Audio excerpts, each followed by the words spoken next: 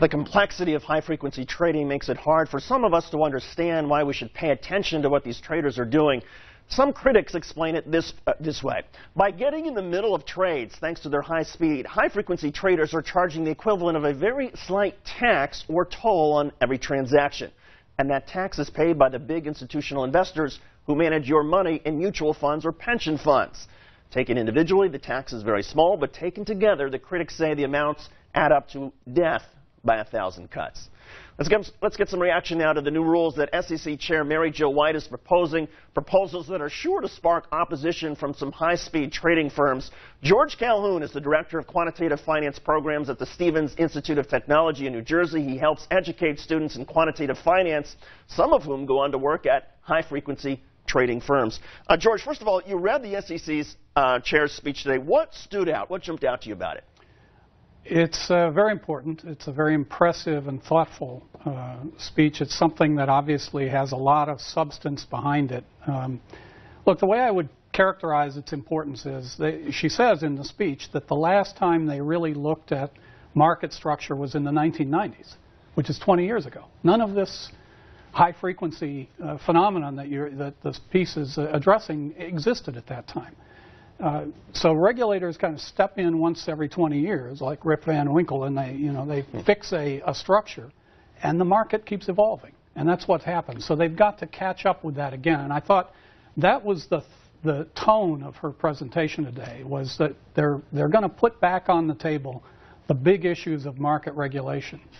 But the knock on some regulators is that even when they do jump in, maybe they're jumping back and looking 10 years ago what was happening, but they're still not up to date on all the stuff that's happening right now. Did you get that impression from no, Mary that's, White? that's what impressed me about the, the, the speech today. She says in there, we're not going to turn back the technology clock. They're going to embrace, and she also says, by the way, that the markets are actually, by most measures, healthier today than they were 10 years ago.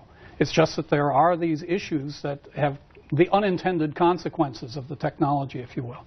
So I treat it as a very uh, thoughtful, substantive uh, orientation of this regulator to uh, what's going to be a complex issue, and it's going to take years to probably sort out the rulemaking in the right way. Now, uh, in layman's terms, what is the way that the SEC or that regulators can go in and try to examine or review what firms are doing? Well, she lays out about five or six uh, initiatives in this presentation, and several of them are kind of I think, easy, straightforward things to do. So they're going to bring the high frequency firms and some of the dark pool trading firms, so called, under a, a, little bit stronger regulation, more disclosure, more transparency, which is, is all to the good, and it, it's not going to change anything in a big way, and I don't think it's going to be that controversial. But the really important things are the, are the points at the end of her speech where she says, we're going to put this entire regulatory structure that was put in place about 10 years ago to try to guarantee uh, fairness in the markets. But a lot of people have criticized that structure as having had the unintended consequence of propagating so many markets and so many different trading venues that it really created a lot of the gaming opportunities that people have now started to take advantage of. As far as that gaming is concerned, some of these firms say, look, we've invested a lot of money. Other people are welcome to invest money in their own algorithms to try to do the same thing. What's wrong with that argument?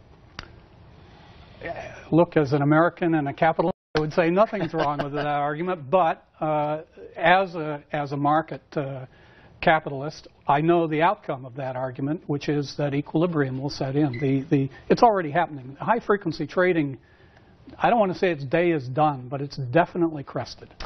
You mentioned that it's going to take several years to sort this out in the language and whatnot. How much pushback do you see coming from the high frequency traders in all of this? Or do you see them being cooperative and trying to at least shape what the SEC does? I think they're going to be generally cooperative. I, based on this speech, I don't see anything in there that if I were a high frequency trader that I would regard as a threat to my business model. In fact, she says there are a variety of different, many academic studies that support the idea that costs have come down, liquidity's improved. A lot of things in the market work better today partly because of the presence of the high frequency guys. So I don't think she's threatening their business model, and I think they're going to perceive that and go along with the rulemaking process. George Calhoun, Director of Quantitative Finance at the Stevens Institute of Technology. George, thanks for coming in. We Thank appreciate you, it. sir.